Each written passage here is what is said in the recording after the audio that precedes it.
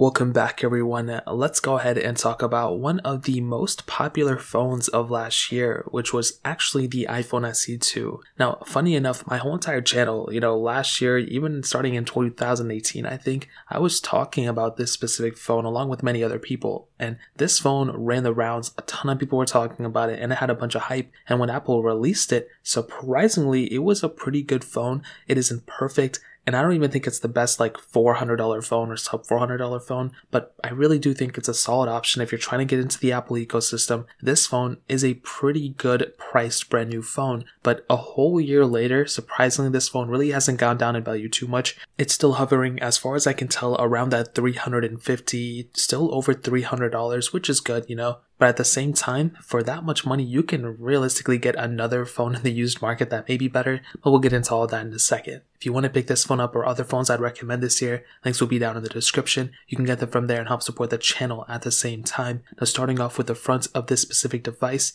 you can see we have that 4.7 inch IPS panel on the front and it's 750p so it's a little bit above regular HD but you know not full HD or anything like that. And it's not an OLED panel either and that's probably one of the bigger issues with this phone but I still think it's okay. They recycled the iPhone 8's panel the same exact body for the most part so it's really not that big of a deal. Obviously pretty big top and bottom bezels but I think in this day and age it's totally okay still but I think for this next iteration of the iPhone SE2 Plus or whatever they're going to call it, we're really going to need some bigger improvements in the body type because it's 2021 and we need to get some bigger improvements on these bodies. We have the, you know, Touch ID 2 on the front, which is more important now than ever. I love having that fingerprint sensor. Unfortunately, the new iPhones don't have Touch ID, but this one has it, which is cool. And you have that lightning port on the bottom, still the glass back on the back of it, which looks very, very good. It still looks very nice, still feels extremely premium as I mentioned before, this is not an issue with this phone. This phone still kills it in terms of the feeling. And I really do think for that brand new budget phone feeling,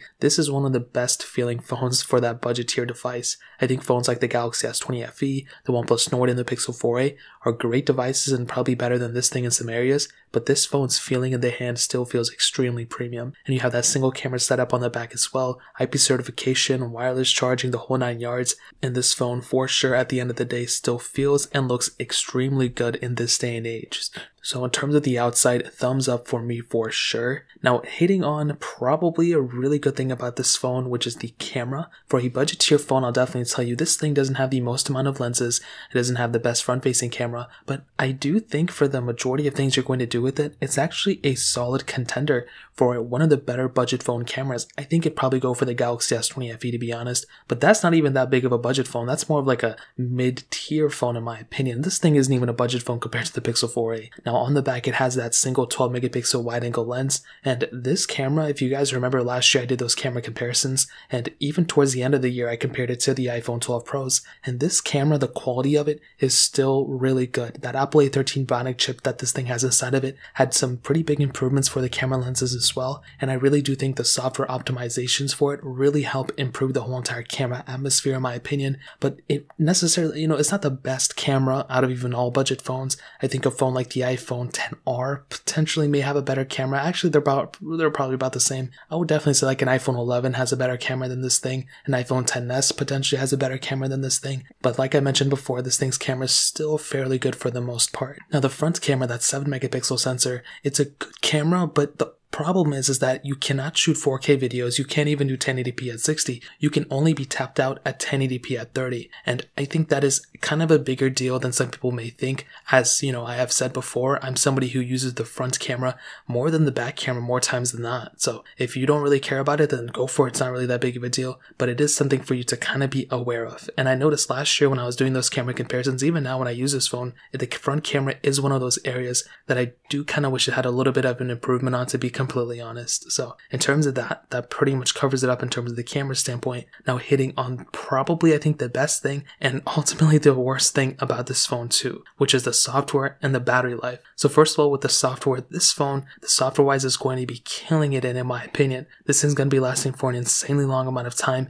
You can pick up this phone right now. You can pick up this phone next year or even the year after, and it's still going to be getting software support for an insanely long amount of time. To give you some perspective, this thing is pretty much going to be lasting as long as the iPhone 11 Pro, the iPhone 11s. So keep that in mind. This phone's going to be lasting for an insanely long amount of time. It's not going to be perfect. You know, it's definitely going to be outdated at some point, but this is probably one of the biggest assets for this specific device. You can get this phone now and it'll be lasting you for many, many years.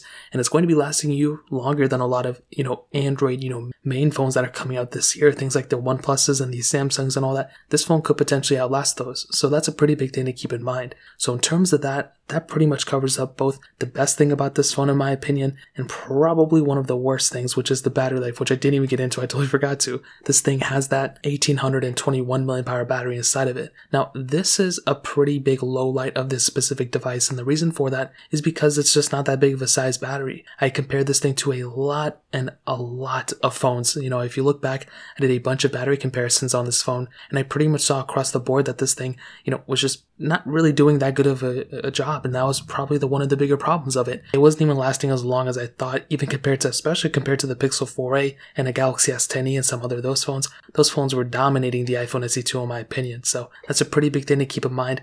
But if you can get over those things, then this phone is probably still a decent phone to pick up, in my opinion, for those things. So, in terms of that, that pretty much covers that up. Now, ending it off with the performance, this device, like I mentioned before, has that Apple A13 Bionic chip inside of it with 3 gigs of RAM. Now, I do think that this RAM on this device is actually a pretty decent thing about this phone. You know, the RAM, I mean, to give you some perspective, this thing has the same amount of RAM as something like an iPhone 10, but on top of that, even if you look at something like an iPhone 12, that thing only has 4 gigs of RAM. So you're still pretty much up there, and the speed of this thing is still top tier. I mean, it's not as good of a performing phone as like an iPhone 11 Pro, but it's pretty close. Like it's almost like 90% there, in my opinion. It has the same chipset, so theoretically, this thing is going to be able to handle everything you throw at it. The RAM is one of those areas that's going to kind of date it more sooner than later. If you look at things like the iPhone 12 Pro, those phones have 6 gigs of RAM, so twice the amount of RAM. But as I mentioned before, you don't need the most amount of RAM on devices like this. You can pick this phone as it is right now and still have a ton of RAM left over, you know, for day to day tasks. If you're somebody who wants to kind of take it, you know, easy and just kind of do light tasks here and there, then I think you're going to be oh, perfect for the most part, even if you're trying to take it up a notch.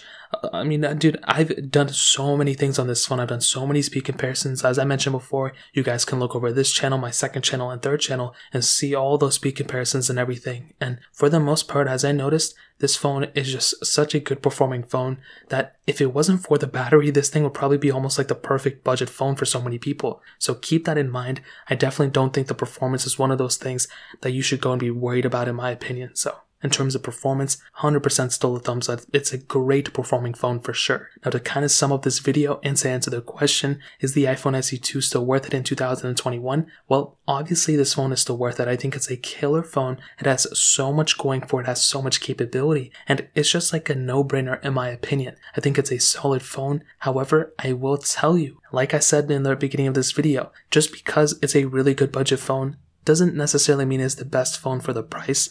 So I think if you were to look at this thing as a brand new offering for $400 and you look at the used market for what you can get for $400, dude, you can get like an iPhone 11 almost for 400 in my opinion. From what I've seen, if I really wanted to and I wanted to negotiate with somebody, I could easily get an iPhone 11. I would even rather have an iPhone 10R than the iPhone SE2 for a lot of different reasons. I think the front cameras, just the cameras in general, are better. You're getting the same amount of RAM. The iPhone SE2 it may be a little bit faster, but you're getting that newer design and you're getting a much bigger battery life. I feel like the bigger problem with the iPhone SE2 isn't the performance, it's not even the screen, it's the battery size and a little bit of the camera on the front. Other than that, I think this, you know, phone is perfect for so many people out there, but I think getting something like an iPhone 10R, which you can get for like around 300, probably even less than that. I generally do think you can get like an iPhone 10s for like less than 400. You can even get an iPhone 11, I'm sure, if you really negotiated for less than $400 too. So keep that in mind, but that's kind of what I'm thinking with this device.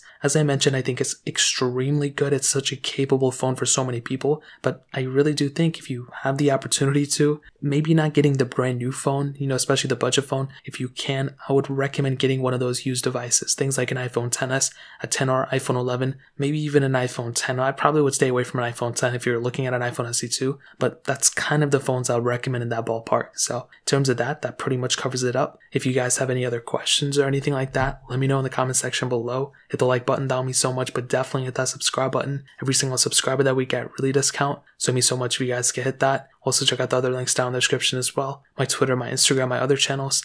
More importantly, than everything else, I love every single one of you guys. Hopefully, I'll catch you guys in the next video. Peace out till then.